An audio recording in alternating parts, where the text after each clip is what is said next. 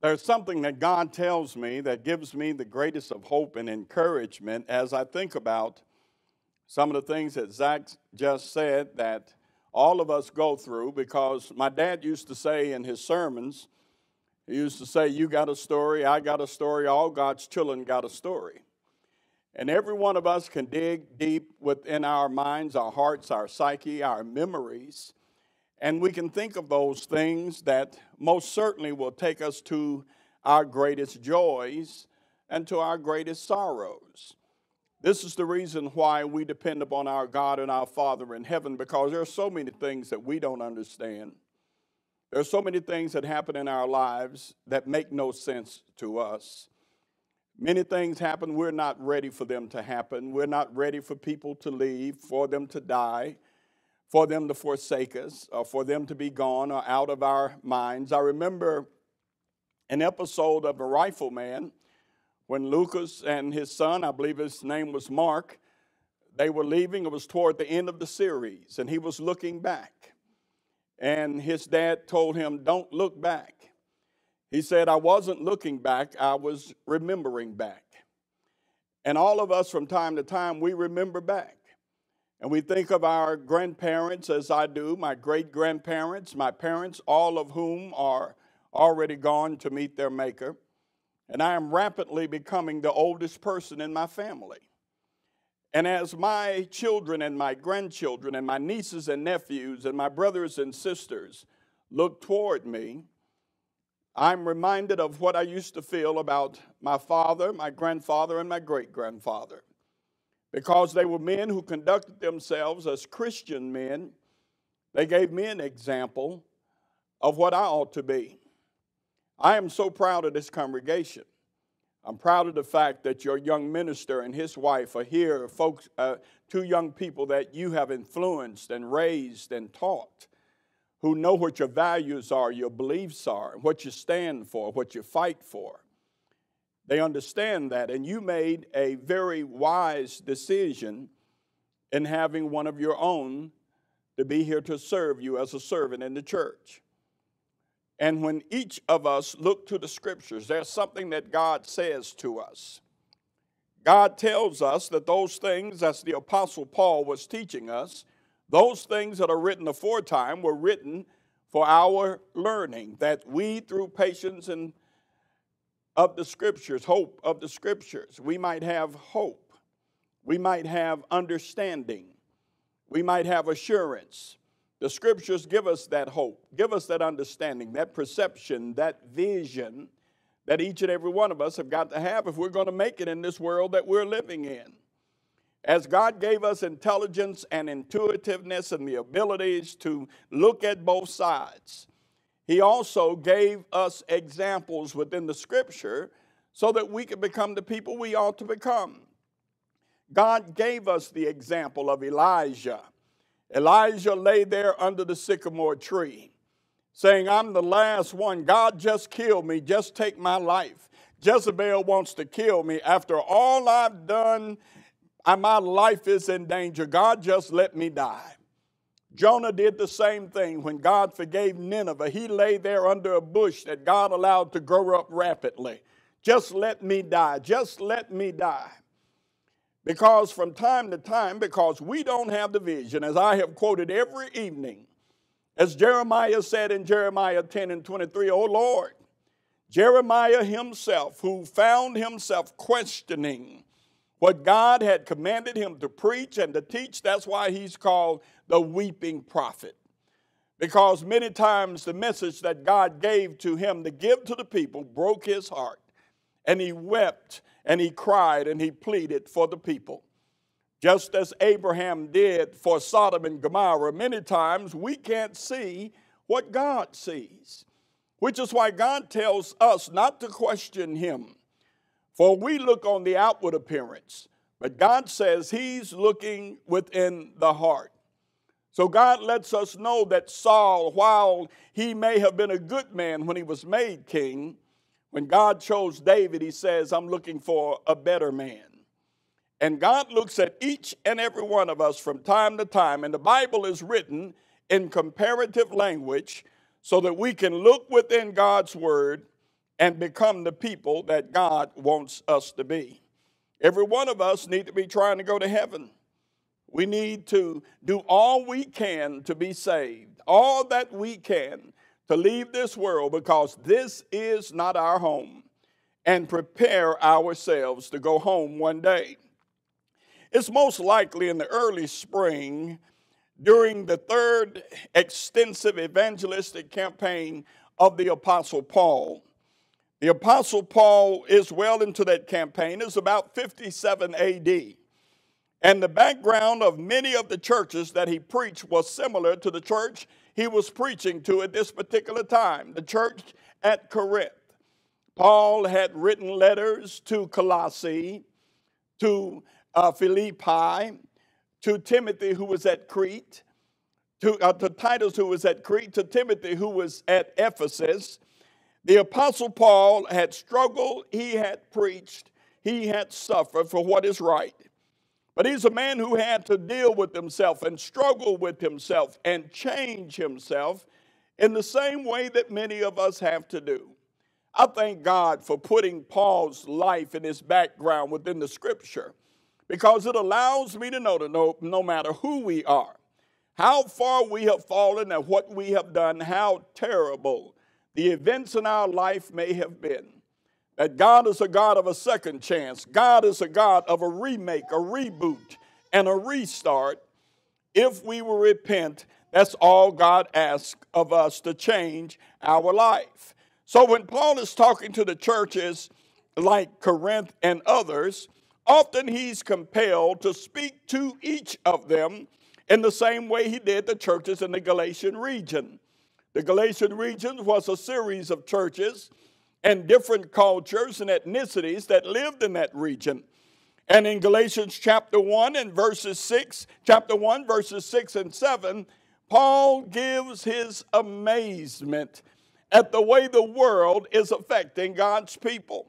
Paul said, I marvel, I marvel that you are so soon removed from him that called you into the grace of Christ unto another gospel Paul said, I just can't believe at this point that you're actually going to believe in another Savior, in another Redeemer, in another way to go to heaven, in another way to please God. Paul says, I marvel. Paul is saying, I know I taught y'all the truth. I have not shunned to preach the gospel to any of you.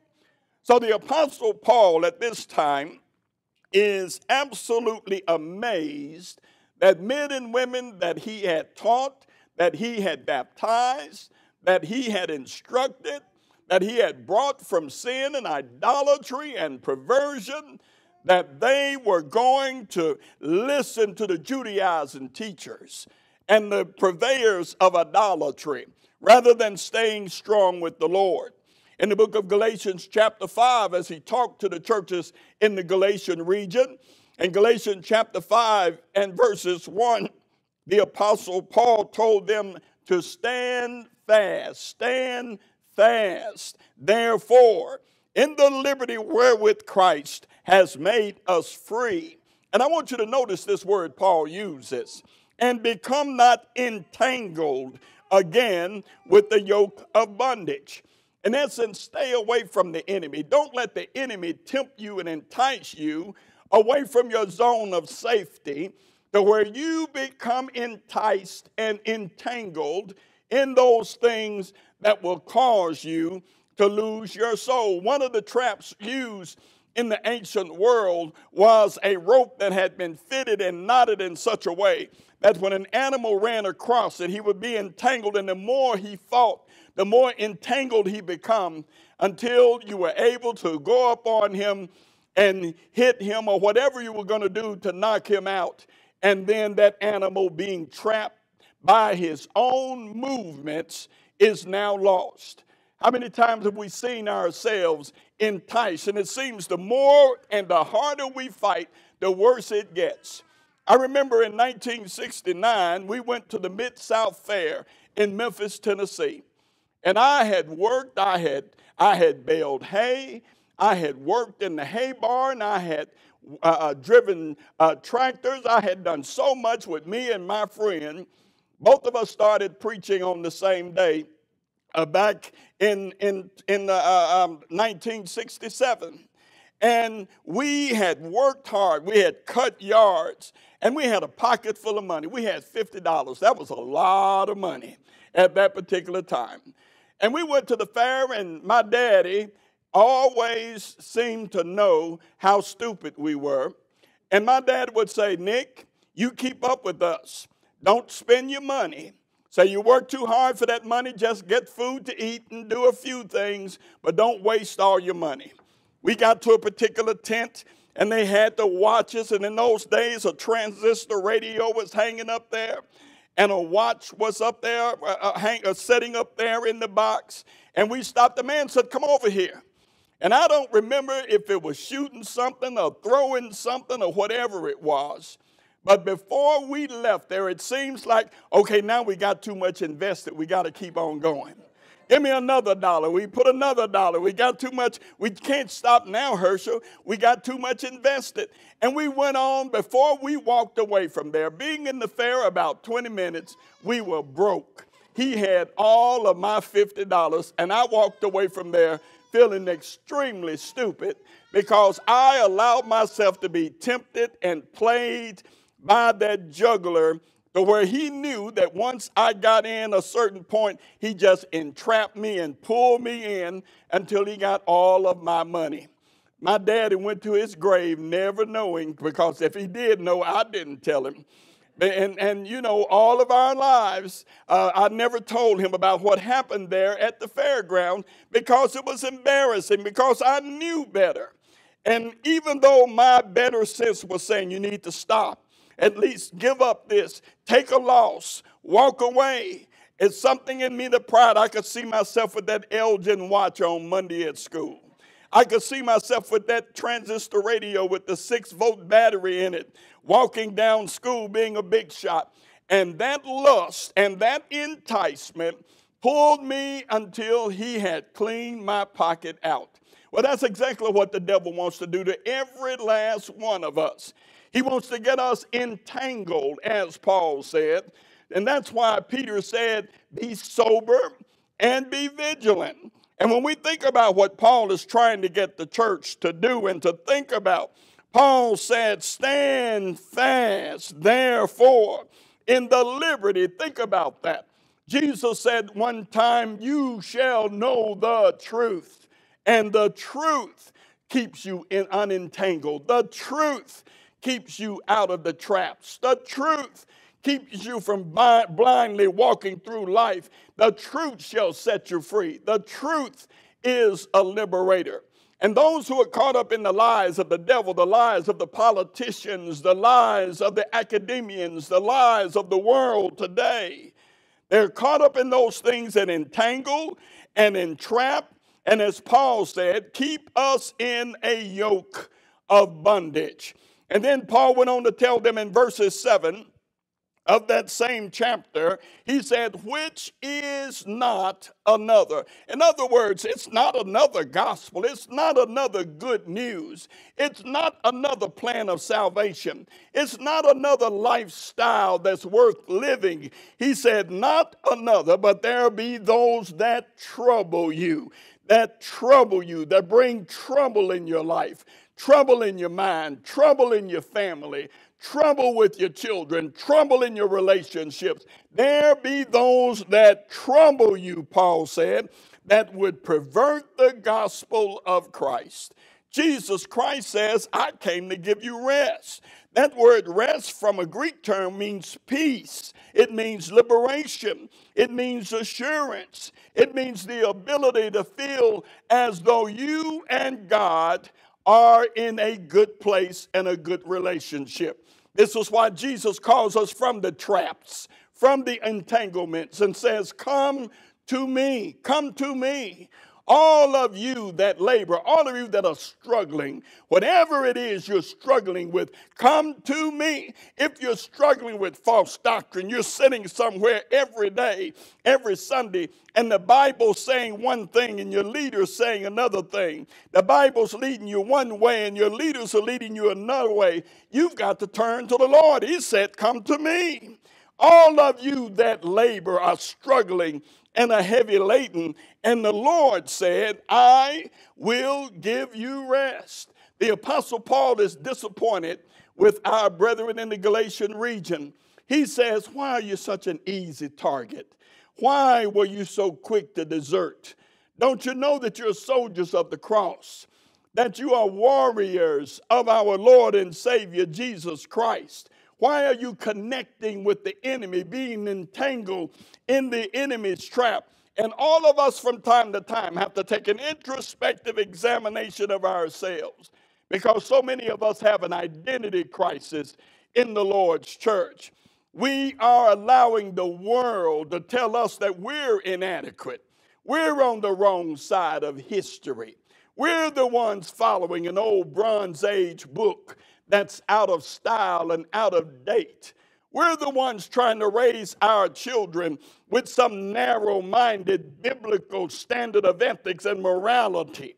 We're the ones that are refusing to allow our children and our families to have a world view and a world vision that would give them the liberation to try other lifestyles and other things. Paul is saying, Why were you so gullible? Why were you such an easy target? Why are you defecting to the enemy? And when you look at that, uh, Paul uses that the term heteron, basically saying it's not a different kind of gospel. It is not the gospel at all. Then the Apostle Paul gave them a stern warning. In verses 8, he gave them a wake up call when he said, But though we or an angel from heaven. Paul said, even if I come preaching something different, even if I come violating the things that I told you earlier, he said, though we are an angel from heaven, preach any other gospel unto you than that which I have preached, let him be accursed, let him be anathema, let him be eternally condemned in your eyes. Don't invite him into your house and do not bid him Godspeed. And so when we look at this, the Apostle Paul had a lot of changes, and God, what I appreciate about God so much, God the Father, God the Son, and God the Holy Spirit. As I told you last evening, three divine personalities, one divine nature, or one aim. God the Father, God the Son, and God the Holy Spirit in inspiring and giving us this word, told us the truth. I know I can see David standing there before the nine foot giant Goliath with five smooth stones and a slingshot, with the Philistine army laughing at this little boy who in a minute's going to be on the end of Goliath's sword and meat for the birds. I can see them laugh until that stone hits Goliath in the forehead and David takes that same sword and removes his head, and their army is routed. I can see that day of courage, but I can also see that day when he stood on that balcony and looked at another man's wife and took him, took her, and took his life. I can see Noah 120 years preaching the truth. It's gonna rain, children. It's gonna rain. And God gave him an order, and God gave him the blueprints of the box that was going to carry the seed of man and animals and plants to the new world. And God, when He gave him His word, God said, Build me an ark of gopher wood. God, God wanted him to know that this is my boat because this is my business and I'm designing it. Build me an ark of gopher wood.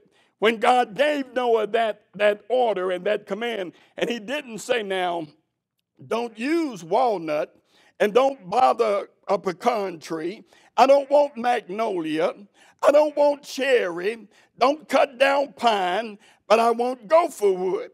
God didn't say any of that because the truth in God's word is both inclusive and exclusive at the same time.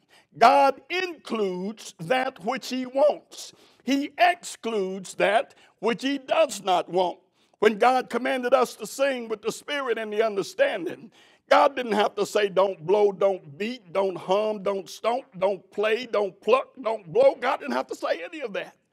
When He said sing, that was inclusive and exclusive at the same time. And what we have to understand, the devil has always, as I told you Sunday, put a comma where God has put a period, or a question mark, or an exclamation point. When God has spoken, then the orders have been given. So God gives me in the scripture, He shows me the life and demonstrates to me how Noah used gopher wood how he put that one door and that one window there. And you know what? God closed the door. He didn't leave it for Noah. Noah may have said, Ain't that Aunt Boochie out there swimming? Isn't that Uncle Ed out there? Open the door. No, God closed the door. And when God closed the door, they could not reopen it because God gave them 120 years in order to repent, to change, and to alter their behavior. But God also shows me the Noah that leaves that ark, who has the ability to make that wine, that alcoholic beverage. God tells me how he's drunk and naked in his tent because God gives me both sides. God tells me about Solomon, how Solomon stood to, to follow his father to the throne. And when God said, What do you want, Solomon? Solomon said, Give me wisdom, for I am but a child, and I have to follow my father and rule this great people. God said, Because you didn't ask for the life of your enemies, or a long life, or great riches, I'm going to give you all of them. And therefore, Solomon was given more than anybody before him. But you understand something? While Solomon was the laboratory of human experience, Solomon had everything. Solomon said, I had everything my eyes desired. But Solomon had to say something. It was vanity. Vanity and vexation of spirit. Why, Solomon? Because Solomon allowed these things to pull him away from his God. God was displeased with Solomon and all of those women that he brought and their religions that perverted the people and perverted his house. God said to Solomon, I'm going to take the kingdom from you, but I'm not going to do it because of David. I'm not going to do it while you live. In essence, God shows me both sides of all of them. So when I go to the scripture, I see the other side of Paul the Apostle, a man who was shipwrecked, a man who was snake bit, a man who was beaten, tied to a Roman soldier, as I told you the other day.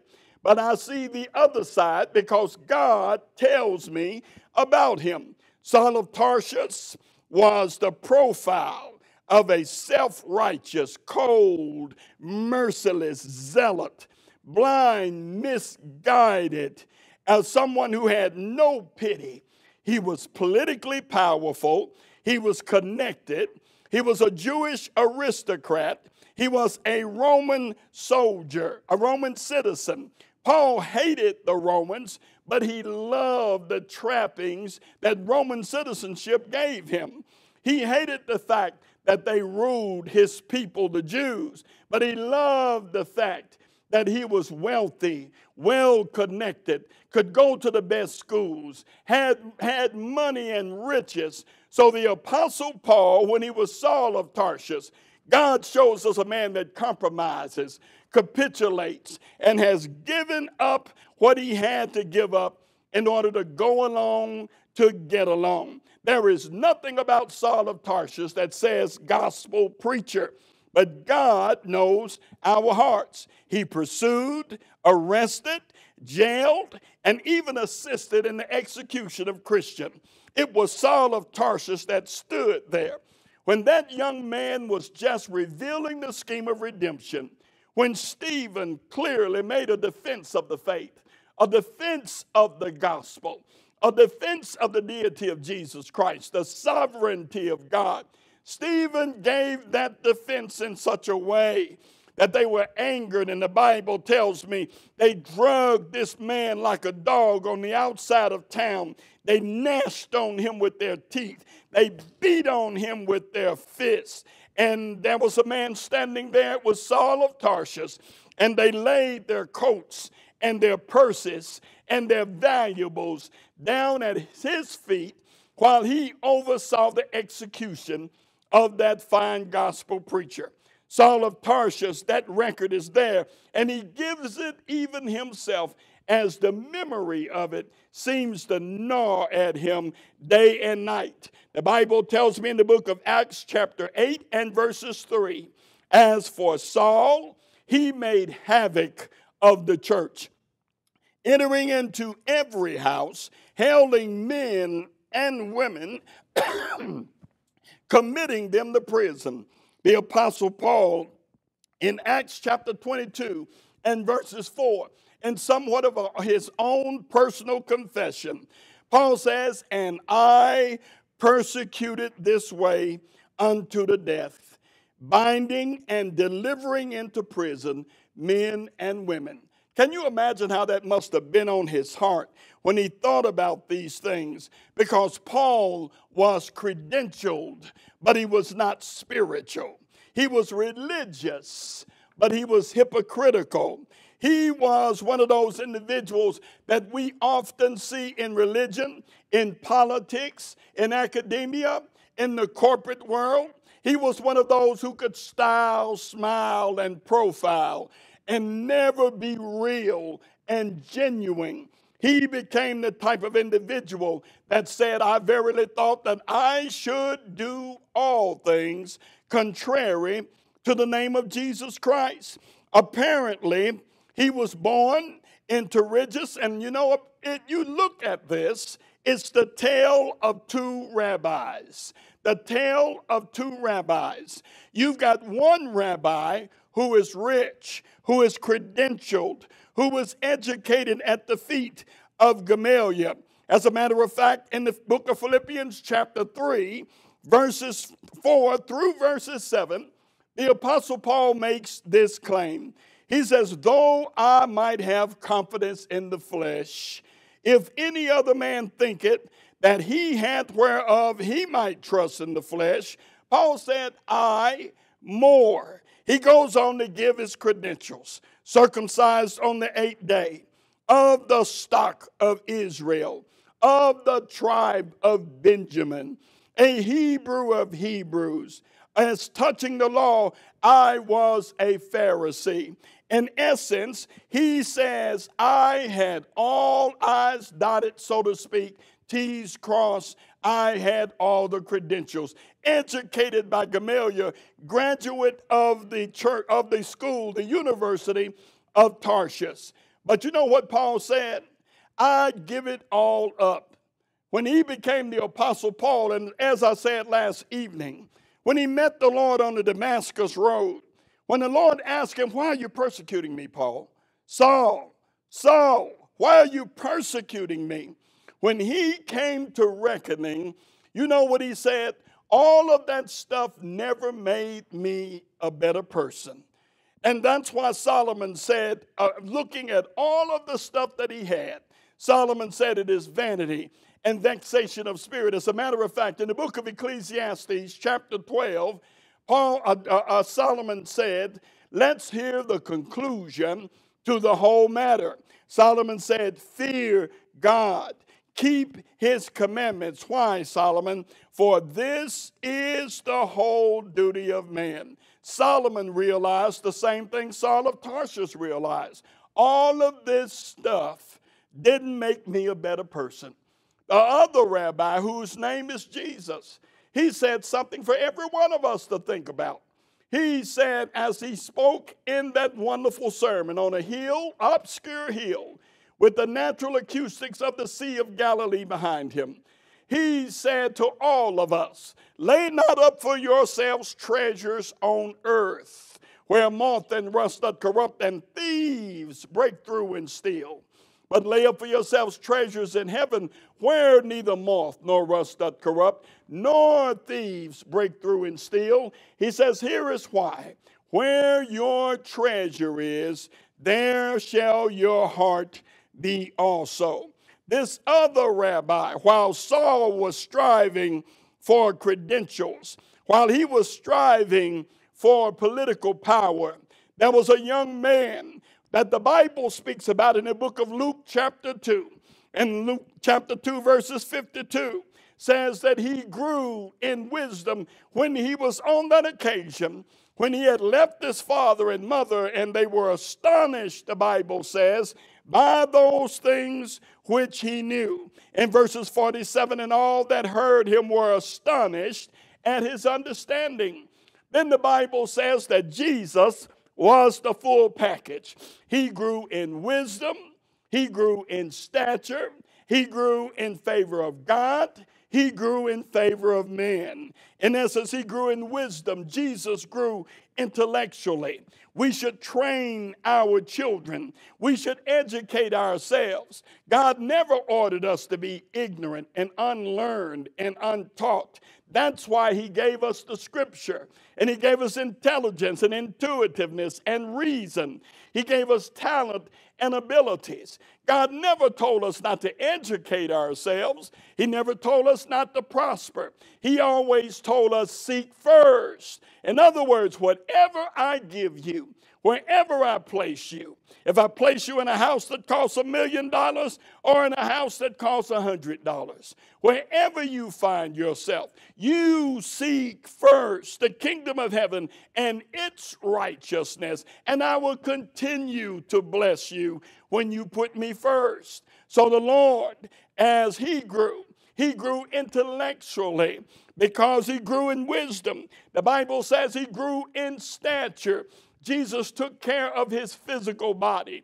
There is a very hard day lying ahead of him. Lying ahead of Jesus is 39 stripes on the scourging post when 10 would kill most men. Lying ahead of Jesus is a hundred pound cross that's going to be put on his shoulders that after he has been beaten half to death, he's got to carry that cross.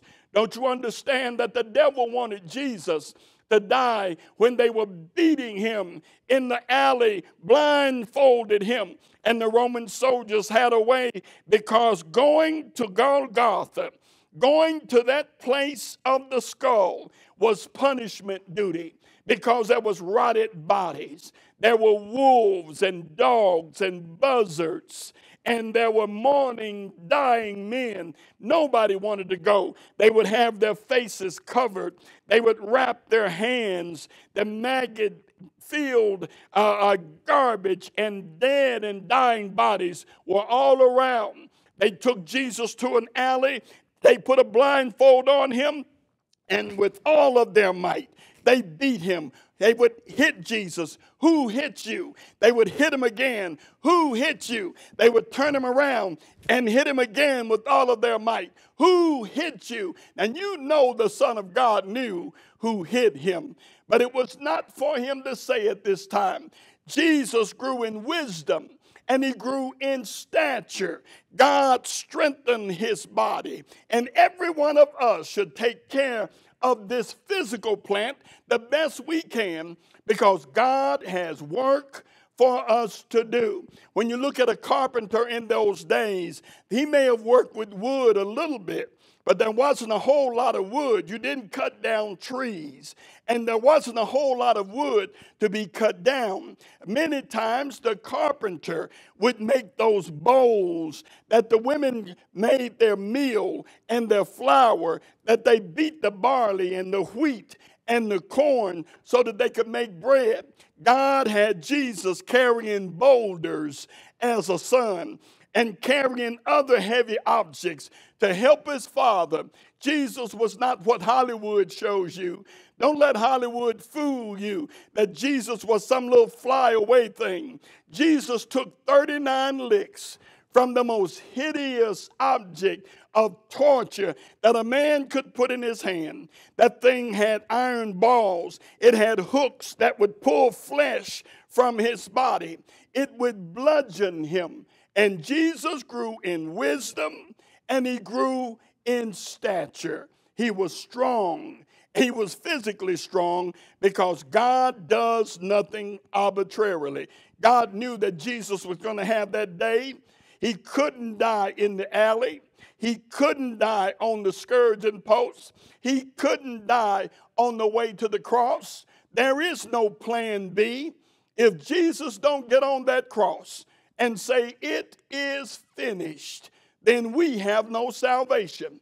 There is no plan B where God's going to come up with another way. This way was decided on before the foundation of the world, as I told you last evening, when Eve sinned and brought death upon mankind.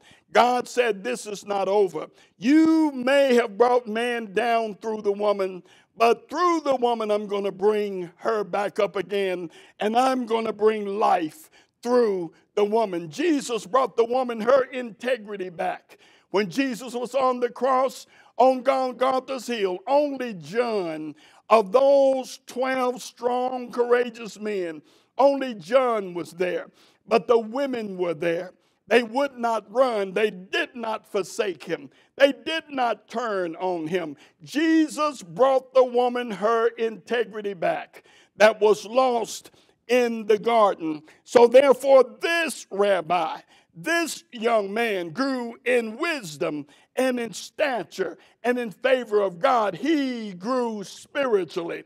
As the scriptures say, we have not a high priest which cannot be touched by the feelings of our infirmities, as the Hebrew writer says, but was in all ways tempted just as we are, yet without sin. In essence, though he were a son, yet learned he obedience by the things which he suffered. When folks looked at Jesus, they would say, Is this not the carpenter's son? Is not his mother called Mary? His brothers James and others, Joseph and Judas? Jesus was the one that when they looked at him, they're saying what they said in John chapter 1 and verses 46 Can anything good come from Nazareth? Instead of him being lauded and lifted up like Paul wanted to be, Jesus, the Bible says, the common people heard him gladly. The cry and the mentality of our day is no different what it was then. It was, you know, be yourself, enjoy yourself, and today explore your individuality. But Jesus taught us how to be a servant. Once the Lord had come, once Paul was converted, God wanted simple, plain preaching to be that which changed the world in the book of Titus, chapter 1, verses 1 through verses 3. The Apostle Paul, now different, different from Saul of Tarsus, different from what he used to be. He says, Paul, Paul, a servant of God and an apostle of Jesus Christ. I want you to note something right here. The highest title in the church is servant, is servant. The highest title is not preacher. It's not evangelist. It's not elder. It's not deacon. It's not teacher. It's not prophet. The highest title in the Lord's church is servant. When each of those men began their epistles, the highest title they gave themselves was servant. A good elder in the church is a servant. A good preacher and evangelist in the church is a servant. A good deacon and teacher in the church is a servant. So Paul said, Paul, a servant of God, an apostle of Jesus Christ, according to the faith of God's elect and the acknowledging of the truth, which is after godliness. And In essence, Paul, why did you change? He told them. In the very next verse, he said, In hope of eternal life. Brothers and sisters, if you miss heaven, you've missed it all. If you don't hear God say, Well done, you hear him say, Depart from me. If he don't call you with the sheep, then he shush you away with the goats. You don't want to stand before a living God with a Savior who comes. And they told the apostles as they were standing there gazing up in the heaven. They came, the angel says, Why are y'all gazing up in the heaven? What did he tell you to do? Peter knew what he told him to do. Because on the day of Pentecost, when Peter preached on that day, he told that bunch of murderers, ye men of Israel, hear these words Jesus Christ of Nazareth, a man approved of God among you by miracles, wonders, and signs, which God did by him in the midst of you, as you yourselves also know. Him being delivered by the determinate counsel and the foreknowledge of God, you, you have taken and with wicked hands crucified and slain, whom God have raised up, having loosed the pangs of death. For it was not possible for him to be held of it. In essence, Peter, on that day, having recovered from that moment of breach, that moment of cowardness, that moment of faithlessness, when he denied the Lord three times, he stood on that day, and that boy preached that sermon on that day. And those 12 men looked that bunch of cutthroats in the eye, and they stood for what was right. They could hear the Lord. One day they were on a boat, and the boat was shaking.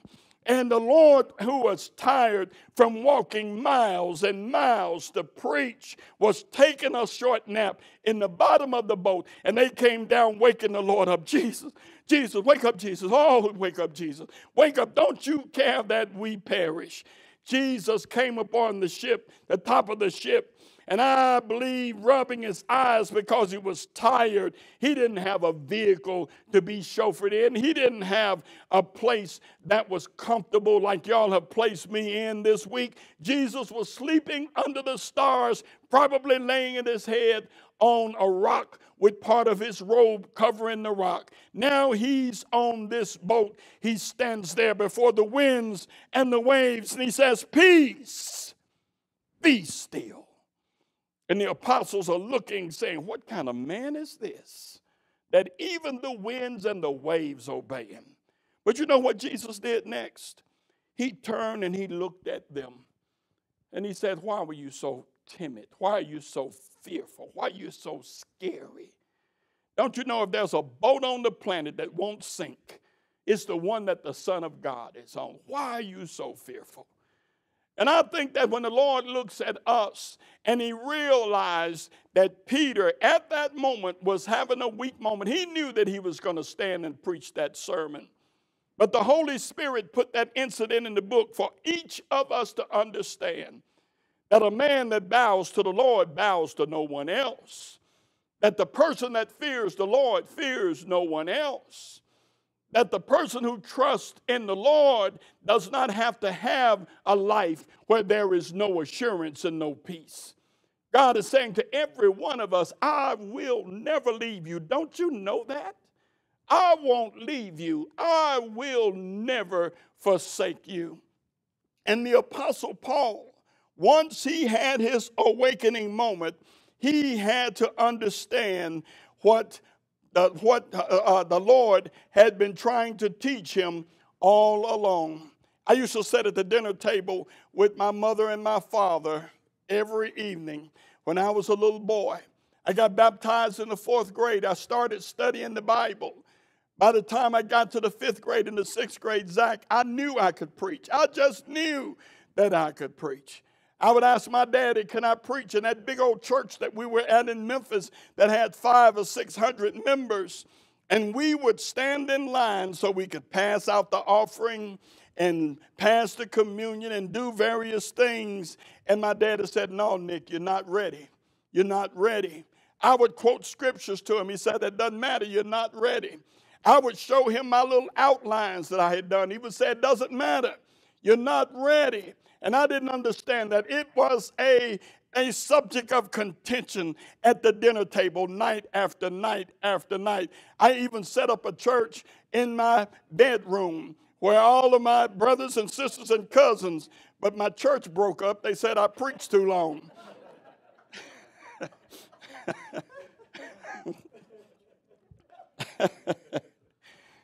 and so this went on for years. Eventually, my dad was transferred to the small church there in Crockett County.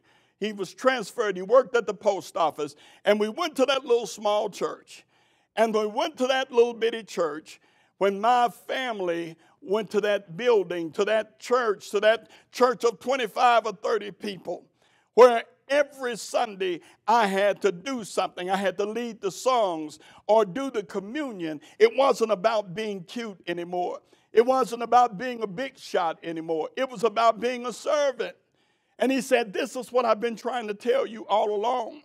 Say your mind wasn't right, your heart wasn't right, you didn't want to do it for the right reasons. He said, Now, and when I was 15, he let me preach my first sermon. He said, Because now you understand what I've been trying to tell you all the time.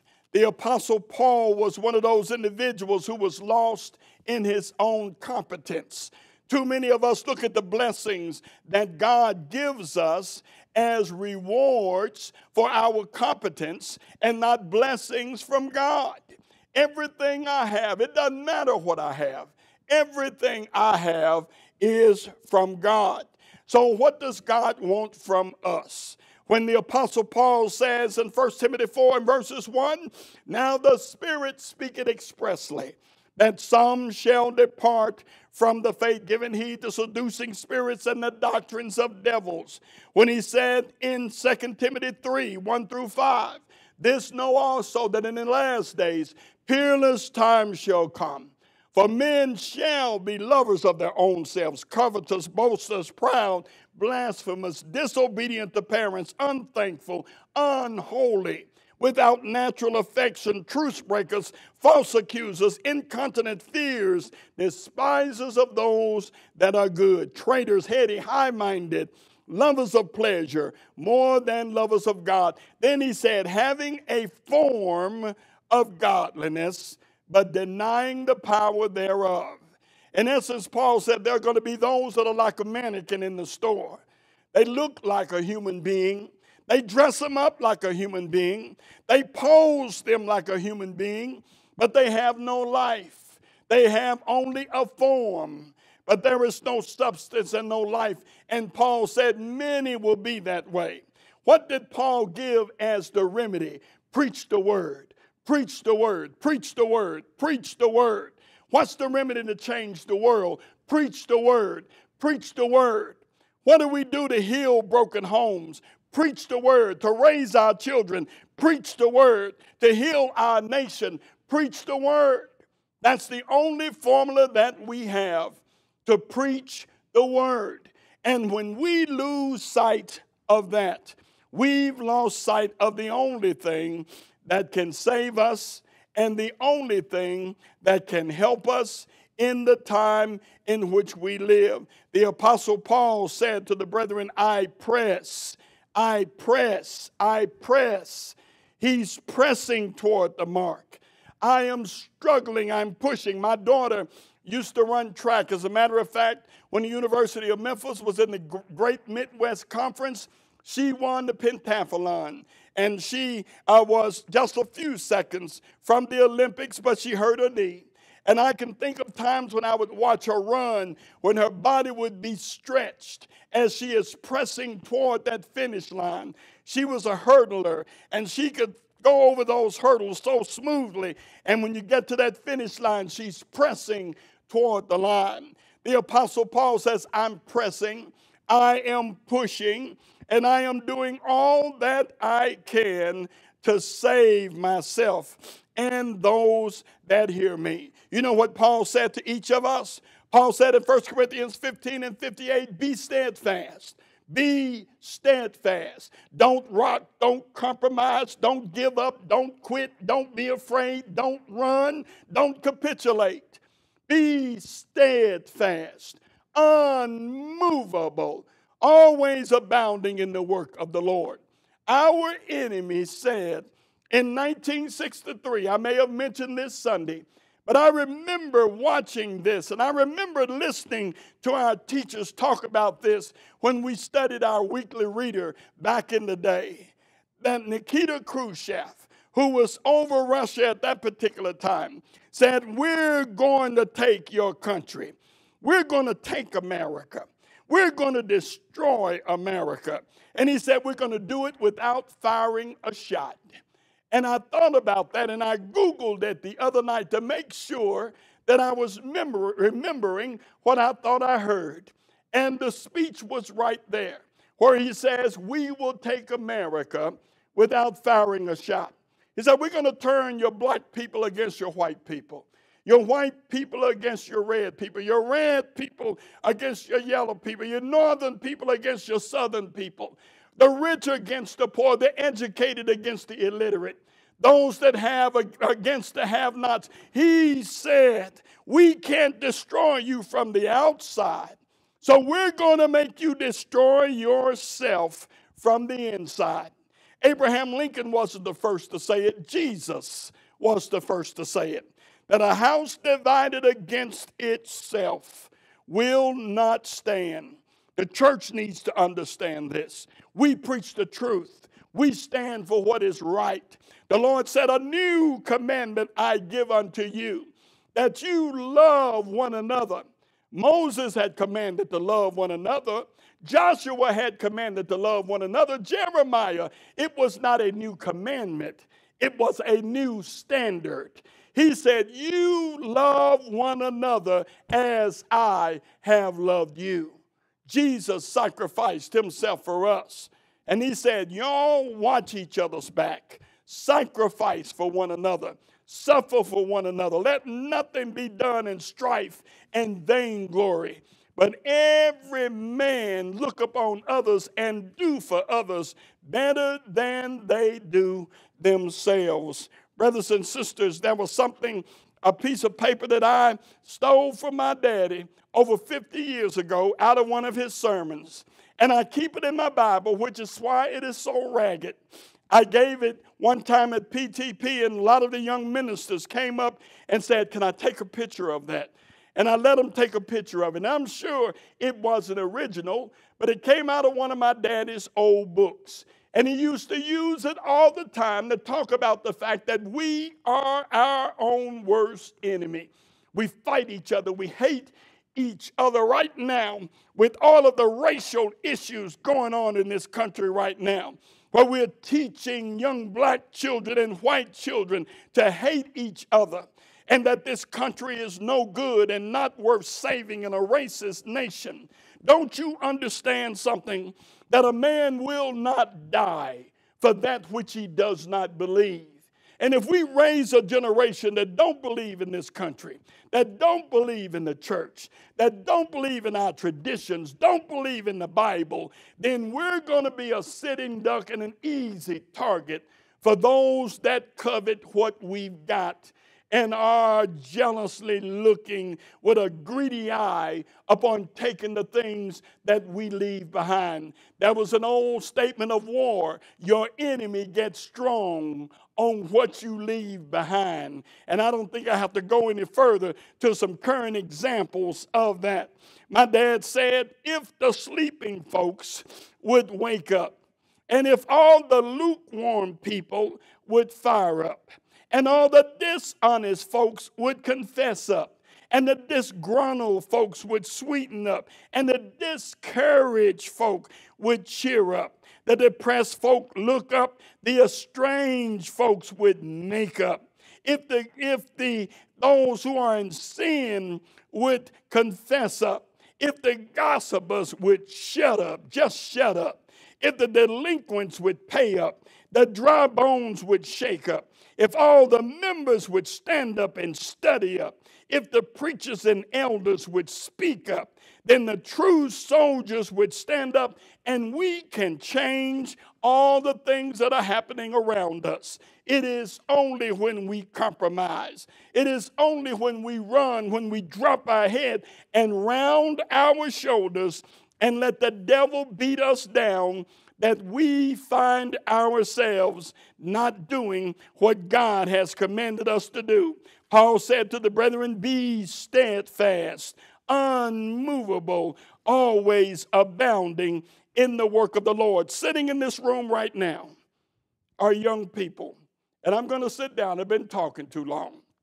But sitting in this room right now are young people who are 25% of the population, but they're 100% of the future. Our children are our ambassadors that we send to a time that we will not see. On my piano in Memphis, I got a picture of my father. He's been dead for almost 15 years. My mother, who's been dead since 1971. My grandmother, who's been gone since 1995. My grandfather, who died one year later in 1965. My big mama and big papa, who died when I was in the seventh grade. All of those pictures, with many others of my family, that are setting on there as a memorial to lives that used to be. But I stand here and I represent them and their beliefs and their culture and their tradition and the things that they fought for and died for. My father was a Korean War veteran. And I stand here as their ambassador to a time that they didn't get a chance to see. If we don't raise our children in the nurture and the admonition of the Lord, as it was said in that day, that in one generation, in one generation, they had turned from the Lord. And in those days, there was no king in Israel, and every man did what was right in his own eyes. I want to leave you with this as we conclude and close. There was an old farmer that sat in his house looking out of his window, and he looked out in the snow as he sipped on his coffee while the fire is burning warm in his house.